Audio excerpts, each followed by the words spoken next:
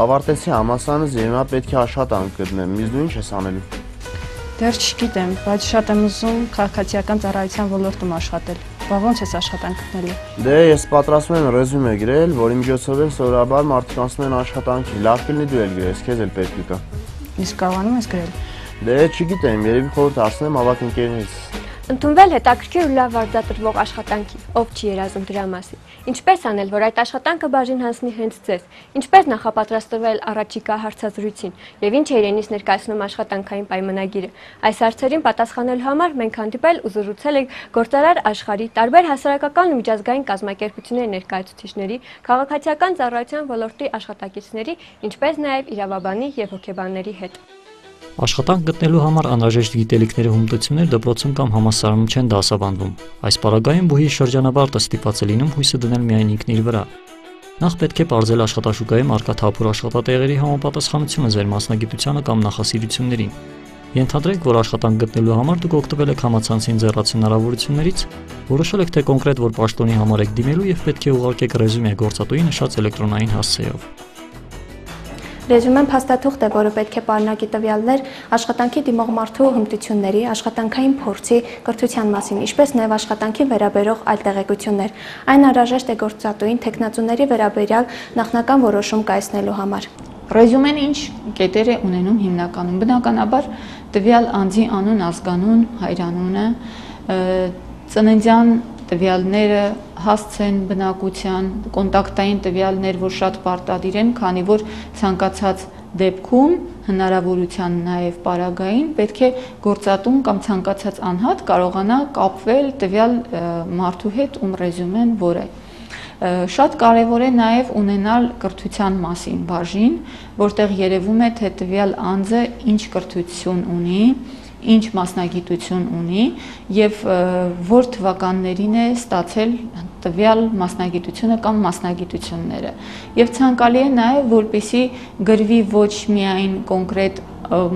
անունը մասնագիտության, այլ նաև դրա որակավորումը որոշակի առումով, եթե կա, թե դրա տակ ավելի շատ ինչ է ենթադրվում, ավելի նեղ մասնագիտություն եւ այլն։ Ռեզյումեի հաջորդ կարևոր բաժինը վերաբերում է տեխնացուի աշխատանքային փորձին։ Շատ կարևոր է նշել նաև աշխատանքային փորձառությունը, բայց որը տվյալ դեպքում նորավարտի համար բնականաբար թվում է թե կարող է դեր չունենալ, նաև տեղ չգտնել, բայց պետք է ասեմ, որ այդքան էլ այդպես չէ, քանի որ աշխատանքային փորձի մեջ ոչ միայն կարելի է գրել այն վարձատրվող աշխատանքը, որը տվյալ անհատը ունեցել է եւ բնականաբար նորավարտը չի կարող դեռևս ունենալ, այլև ցանկալի է, որպիսի նշվի այն աշխատանքը, որը ինքը կատարել է միգուցե առանց վարձատրության, կատարել է կամավոր։ Սա կարող է նաեւ առանձին իհարկե բաժնով հանդես գալ, որպես կամավոր աշխատանքի փորձ, նշելով դարձյալ որ կազմակերպությունում, որ ժամանակահատվածում, ինչպիսի աշխատանք է կատարվել, ինչի համար է պատասխանատու եղել ընդհանրապես որ ոլորտների համար եւ գործառույթը իր որն է եղել։ Սա շատ կարևոր է, քանի որ գործատուն եւս ուշադրություն է դարձնում, թե տվյալ անհատը, տվյալ դիմորդը, թե որպես կամավոր, թե որպես վարձու աշխատող նախկինում որ կազմակերպությունում ինչ դեր է ստանձնել եւ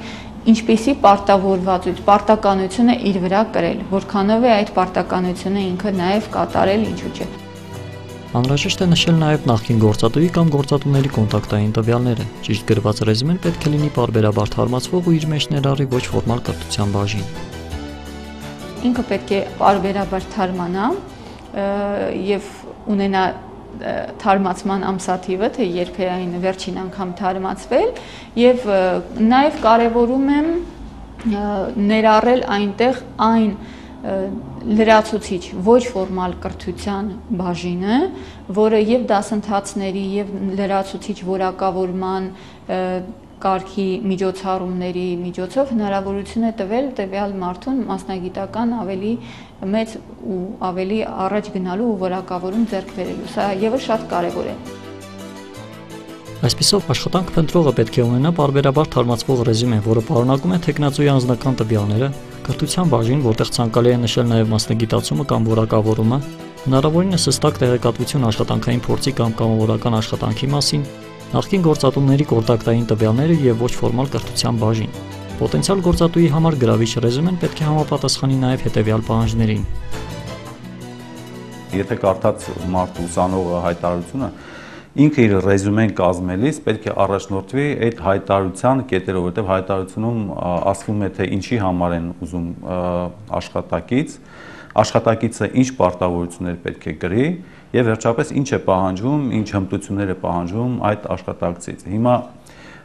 երբ որ գրում են ու այդպես շատ հաճախ է լինում, երբ որ մարտի գրում են ռեզումե եւ հենց սկզբի կետերը, ասենք, դնում են այնպիսի կետեր, որ ընդհանրապես կապ չունի հայտարարության հետ,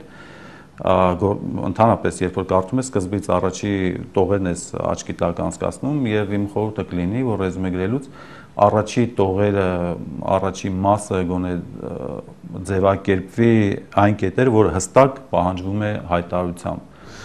մենք նախընտրում ենք ավելի կարճ ռեզումեներ այսինքն առավելագույնը 3-ից 4 էջ որովհետեւ դրանից ավել արդեն մի տեսակ շատ եւ դժվար ընթերցելի է եւ արդեն մանրամասներ են, որոնք երբեմն մեզ հետաքրքիր չեն։ Մենք ռեզումեներ ենք ստանում, գրված է անուն, ազգանուն, սովորել եմ այսինչ տեղում ու վերջ։ Կամ աշխատել եմ այսինչ տեղում ու վերջ բոլորս էլ աշխատում ենք, բոլորս էլ սովորում ենք կամ ավարտում ենք, դա չի իմաստը։ Այսինքն ես պետքա կարողանամ ցույց տալ, թե ես ինչ եմ արել թեկուզ իմ սովորելու տարիներին։ Ենթադրենք դուք գրել եք համառոտ եւ բովանդակալից ռեզյումե եւ այն հետաքրքրել է գործատուին։ Դուք հնարավորություն եք ստացել մասնակցելու հարցազրույցին եւ ցանկանում եք նախապատրաստվել, սակայն չգիտեք ինչից սկսել։ Հենց այստեղ է, որ դուք պետք է կատարեք այսպես կոչված տնային աշխատանք։ 1 study the business Առաջինը ուսումնասիրեք հնարավոր աշխատանքը եւ կազմակերպությունը։ Իմացեք, թե ով է այն ղեկավարում եւ թե ում համար եք աշխատելու։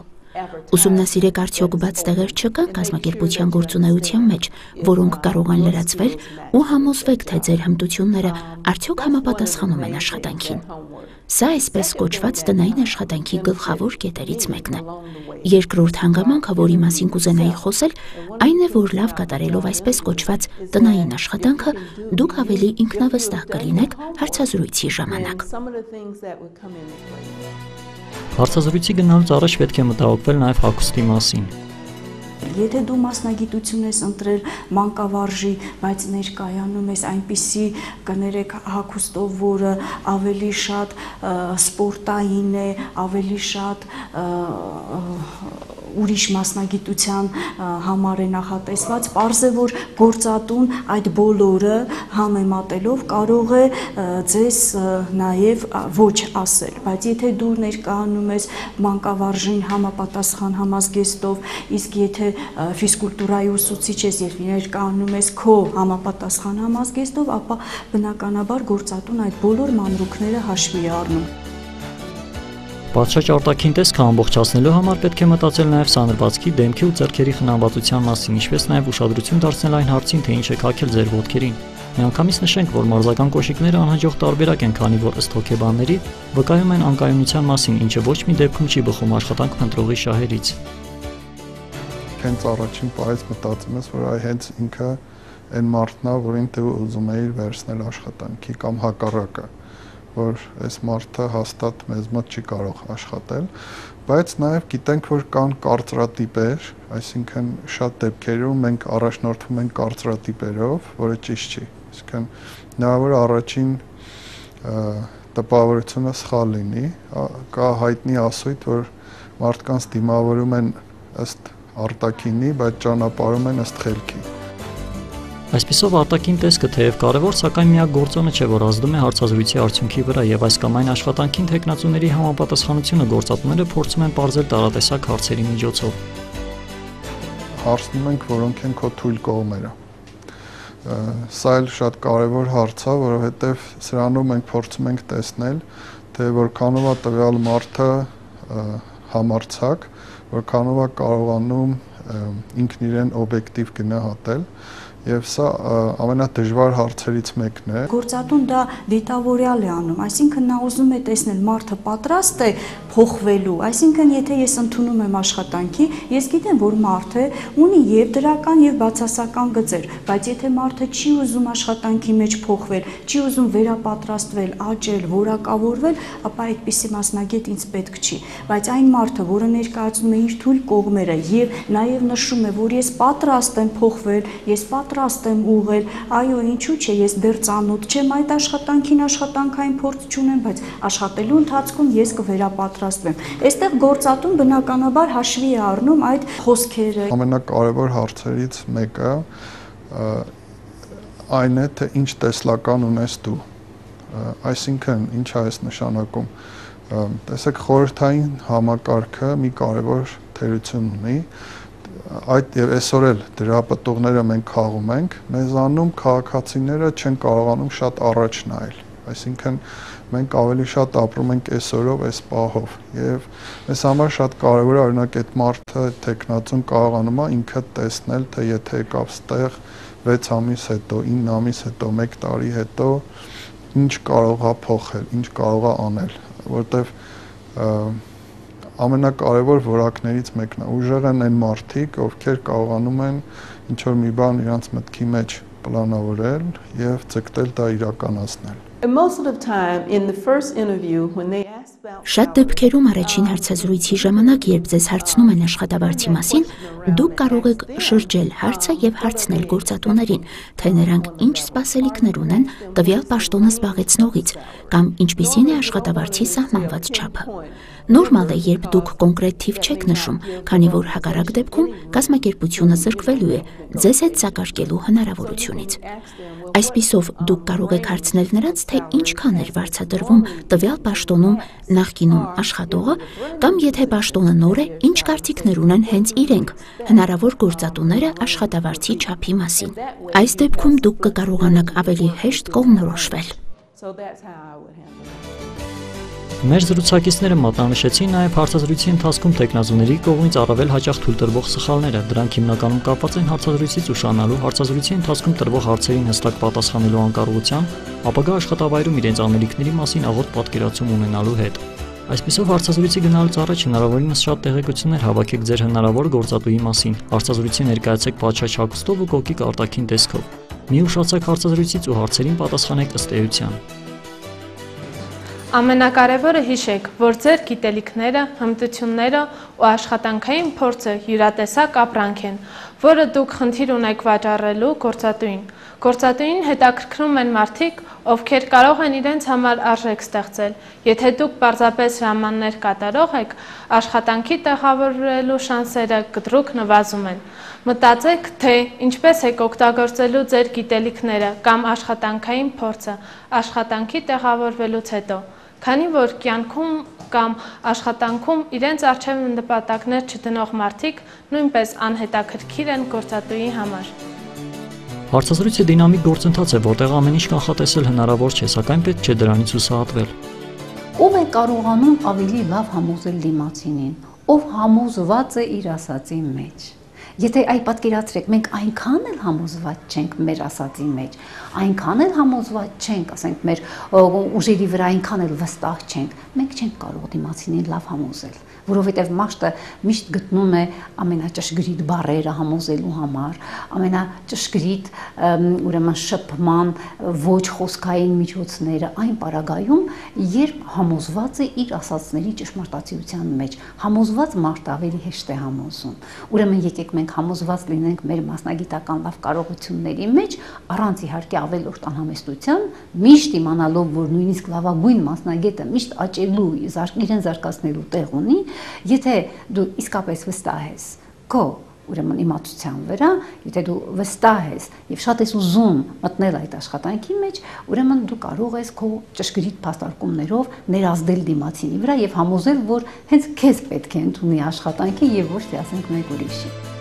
Հարցազրույցի ու ընդհանրապես ցանկացած հաղորդակցման ընթացքում կարևոր նշանակություն ունեն ոչ խոսքային հաղորդակցման միջոցները, օրինակ հայացքը։ Եթե մարդը ձեզ հետ խոսում է, եւ երկար եւ ուղիղ նայում է ձեր աչքերին, ինչ զգացողություն եք ունենում։ Կարծեք ագրեսիայի եք ենթարկված։ Մարդ ուզում է փախչել, հայացք դες փախցնում, ուզում ես կրճատել շփման ժամանակահատվածը։ Նույնը վերաբերում է նաև հակառակ ծայրահեղությանը կան մարդիկ, ովքեր շփվելիս չեն նայում աչքերիդ մեջ, մի տեսակ հայացք փախցնում են։ Սա ստեղծում է հոգեբանական մի մթնոլորտ, կարծես դիմացինը քեզ խափում է, ինչ որ մի բան է թաքցնում, ինչ որ հետին մտքեր ունի, թեև կարող է իրականում այդպես չլինել։ Հիմա ամենաարդյունավետ հաղորդակցությունը երբ դու կարող ես նորմալ եւ լավ ինքնաներկայացմամբ զբաղվել, որն է։ Ես մի փոքրիկ գաղտնիք ասեմ, հարկավոր է նայել դիմացինի աչքերին մոտ 3 վայրկյան հետո հայացքը ուղղել որևէ կողմ, հետո նորից նայել դիմացինի աչքերին։ Իհարկե, ես չեմ ասում, որ պետք է այնտեղ վարքյանաչափ ունենալ, տեսնել քանի վարքյան, բայց ընդհանուրը առմամբ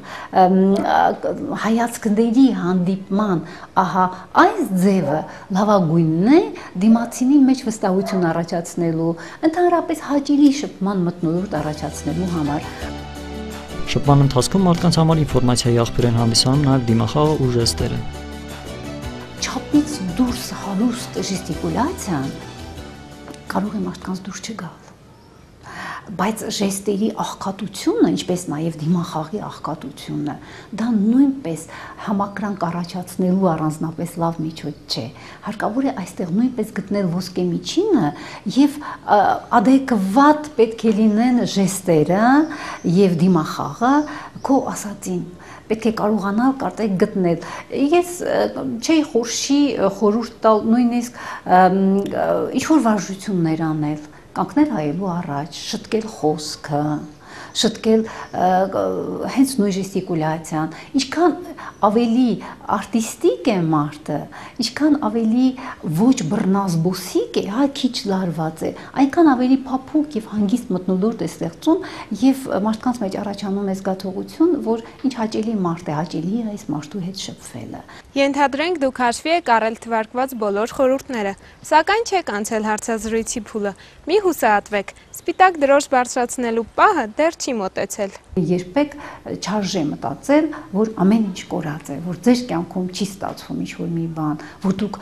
բախտ չունեք։ Գիտեք, այսպեսի նևրոզ կա, ճակատագրի նևրոզ է կոչվում։ Կան մարդիկ, որ ասում են, ես անբախտ եմ, ինձ հետ անթացած բաներ եմ պատահում։ Դա կարող է ծայրահեղության հասնել։ Ոչ, չկա այդպեսի բան։ Մեզանից շատ բան է կախված։ Հարկավոր է հավաքվել, ճիշտ մոտեցումներ ունենալ եւ հաջողությունը ինչ որ մի օր մեզ տանջի։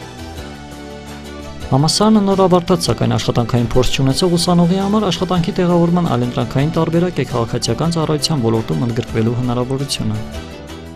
2010 թվականի վերջին օրենքում կատարվեց փոփոխություն, որով սկզբունքորեն նոր մոտեցում ողջերվեց կրծեր պաշտոնները այսուհետ լրաց համալրվում են, այսպես ասենք, հավաստագրման թեստավորումների միջոցով։ Ինչ է իրենից ներկայացնում հավաստագրման թեստավորումը։ Սա թեստավորման process է, մարդիկ երիտասարդները հայտ են ներկայացնում մասնակցելու թեստավորմանը, կազմավորում են խմբեր նրանցից եւ այդ խմբերը համապատասխան ընթացակարգով թեստերը լրացնում են, բավարար քանակը ապահովելու դեպ, դեպքում նրանք համարվում են թեստավորումը հաղթահարած։ Որի արդյունքում ուրեմն թեստավորման փուլի ավարտից 5 օր հետո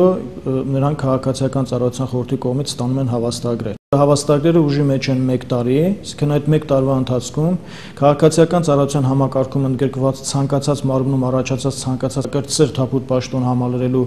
անհրաժեշտություն առաջանալու դեպքում, նման հայտարարություն հրապարակվելու դեպքում նրանք կարող են այդ հավաստագրի հիման վրա դիմել նշանակվելու համար։ Նշանակման իրավասությունը տվյալ դեպքում մարմինների աշխատակազմերի ղեկավարների վրա է դրված։ Թեստավորման մրցույթին մասնակցելու համար հայտերը կարող եք ներկայացնել նաև on-line տարբերակով լրացնելով դրանք Հայաստանի Հանրապետության քաղաքացիական ծառայության խորհրդի CS Council AM պաշտոնական կայքեջում։ Եթե տեխնացուն անցել է թեստավորման փուլը, սակայն չի տեղավորվել աշխատանքին, նա կարող է գրանցվել կադրերի երկարաժամկետ ռեզերվում։ Քաղաքացիները մասնակցում են մրցույթներին, հաղթող են ճանաչում, հետո դիմում են նշանակվելու համար, սակայն նշանակում իրականացնող իրավասու պաշտոնատար անձ նրանց չի նշանակում, նրանք կարող են դրանից անմիջապես հետո դիմում գրել ընդգրկվելու քաղաքացիական ծառայության երկարաժամկետ ռեզերվ, որտեղ գտնվելու իրավունք ունեն 1 տարի ժամկետով, եւ այդ 1 տարվա ընթացքում նրանք պետք է հետևեն ժամանակավոր կրծեր թափուր պաշտոնների մասին հրապարակվող հայտարարությունների, որոնք հրապարակում է քաղաքացիական ծառայության խորհուրդը, դրանք եւս հրապարակվում են մեր ուրեմն խորհրդի պաշտոնական կայքում, որոնց մասին ես արդեն ասացի, հրապարակվում են նաև խորհրդի վարչական շենքում, առաջին հարկում կարող են գալ այնտեղ պատերին փակցված է, ստնդերի վրա փակցված է, ուրեմն ծանոթանալ եւ այն թափուր պաշտոն ժամանակավոր թափուր պաշտոնների, որտեղ իրենց պահանջները կամ իրենց տվյալները համապատասխանում են, կարող են դիմել խորհրդին ուրեմն նշանակվելու համար, որից հետո խորհուրդը որոշակի ընթացակարգեր ապահովելուց հետո նրանց տեխնացությունը, եթե համարում է, որ բավարարում են տվյալ ժամանակավոր թափուր պաշտոնը զբաղեցնելու պահանջներին, ուղարկում է համապատասխան մարմիններին եւ այդ մարդկանց հետ, այդ երիտասարդների հետ տվյալ դեպքում տվյալ մարմինը կնքում է ժամկետային աշխատանքային պայմանագիր կոնկրետ ժամկետներով։ Քաղցարայցյան ոլորտում որոշ ժամանակ աշխատելուց հետո օրենքով սահմանված կարգով քաղաքացիական ծառայողը կարող է բարձրանալ ծառայողական աստիճանաշ սանդրակով, մասնակցելով նաև հարցազրույցի փուլով անցկացվող մրցույթներին։ Օրենսդրության լավ իմացությունը այս դեպքում միակ անհրաժեշտ պայմանը չէ մրցույթում հաղթող ճանաչվելու համար։ Մասնակիցները փորձում են օրենսդրությունն անգիր արած պատասխանել դա այդքան էլ լավ կարծիք չի թողնում, որովհետև ստացվում է, որ օրենքը անգիր են արել ու parz է որ հաջորդ վարքյանին սենյակից դուրս գալուց հետո մոռանալու են դա ու չի կիրառվելու։ Տրամաբանական հարցերին չեն կարողանում ենթադրենք, եթե ինչ որ հարց իրենց ենթադրում է տրամաբանելու պատասխան կարող է փորձեն իրենք հիշել ինչ որ բան ու չկարողանան ճիշտ պատասխանել։ Մրցույթի արդյունքում հաղթող են ճանաչվում մրցութային հանձնաժողովի հարցերին պատասխանած ու առավելագույն թվով միավորներ հավաքած 3 մասնակիցներ։ Նրանցից միայն մեկը քաղաքացիական ծառայության մասին օրենքի 14-րդ հոդվածով սահմանված կարգով տեղավորվում է աշխատանքի։ Տարբերություն մասնավոր հատվածի քաղաքացիական ծառայության համակարգը տալիս է աշխատանքի կայունություն այսինքն մարդը երաշխավորված է իր պաշտոնում, պաշտոնավարելու, եթե 18 տարին լրացած է, նա արդեն իրավունք է ձեռք բերում դառնալու քաղաքացիական ծառայող եւ մինչեւ 65 տարին լրանալը իրավունք ունի զբաղեցնելու քաղաքացիական ծառայության պաշտոն։ Քաղաքացիական ծառայության կարևորագույն սկզբունքներից մեկը դա պաշտոնի կայունությունն է, շարունակականության ապահովումը։ Քաղաքացիական ծառայողին կամայականորեն իրավունք չկա այլևս նախկինի նման պաշտոնից ազատելու որևէ մեկը իրավունք չունի կամայականորեն նշանակելու այսինքն նրանց շարունակ կայունությունը աշխատանքի կայունությունը երաշխավորվում է օրենքով սա է ամենակարևորը որը տալիս է պետական ծառայությունը քաղաքացիական ծառայությունը երիտասարդին որը ուզում է դառնալ պաշտոնյա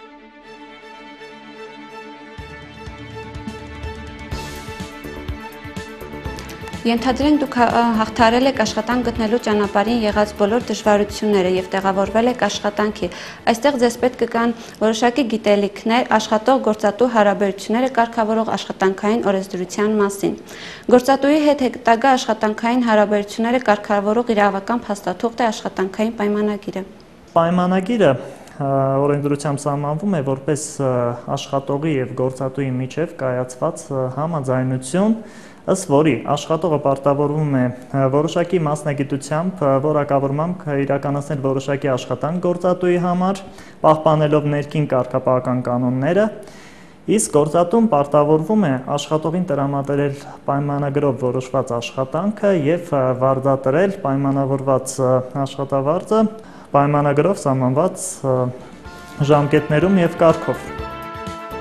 Տվյալ աշխատանքին աշխատողի համապատասխանությունը բարձելու համար գործատուն կարող է նշանակել փորձաշրջան։ Օրենքը նման իրավունք է տալիս նաև աշխատանքի ընդունվողին։